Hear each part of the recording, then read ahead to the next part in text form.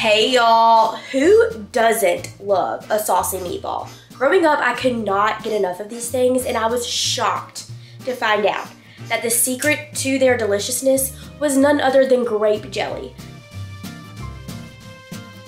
Beef meatballs and grape jelly is not a flavor combination I would typically go for, but in this instance, it is pure deliciousness.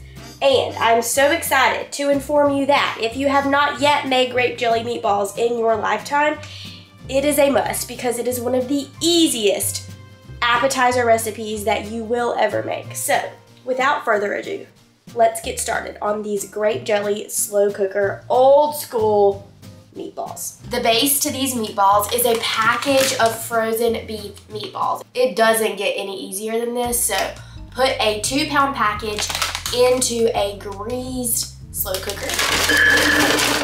And then you're gonna whisk together a flavorful sauce that includes grape jelly. So I have half a cup of barbecue sauce and I am going to add in one cup of chili sauce. So it needs to get up to one and a half cups on my measuring cup here, which is basically this, almost this entire jar. A cup of chili sauce, half a cup of barbecue sauce into a larger measuring cup. Now, after I just measured those two ingredients in a small measuring cup and then I put it in a large measuring cup, I realized I should have just done it in the large measuring cup to begin with because it's less dishes. But do as I say, not as I do. Just mix it all in one big four cup measuring cup. One and a half cups of grape jelly into my sauce mixture. So, so far chili sauce, grape jelly, and barbecue sauce. And then I need a teaspoon each of Dijon mustard and sriracha. Last but not least, salt and pepper, half a teaspoon of salt, and a quarter teaspoon of black pepper. After your sauce is good and combined, then you can pour it directly over your meatballs, cover it and cook it on high for about two to two and a half hours, just until the sauce is thick and your meatballs are warmed through.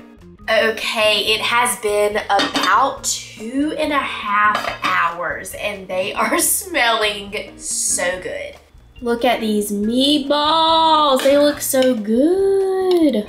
Now I have a tray with some toothpicks set out.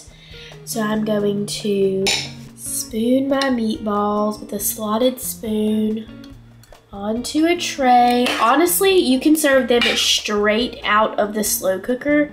You don't have to put them on a tray, but if you want a prettier presentation, a tray is the way to go, but the slow cooker keeps them warm.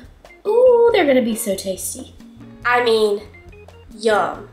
An Armatel china plate full of saucy, glossy, grape jelly slow cooker meatballs it would make anyone happy. It makes me especially happy. And they are so easy. It is a dump and stir recipe in the slow cooker. And most recipes in the slow cooker take forever, but these only take two and a half hours and you can keep them warm at your party it is just like a win-win situation. I cannot wait to dig in. If you have any other really easy holiday appetizer recipes, I would love to know, so put them in the comments. I love seeing what y'all are doing at home. If you make these meatballs or you remember them from your childhood, put that in the comments. I love to read about y'all's stories.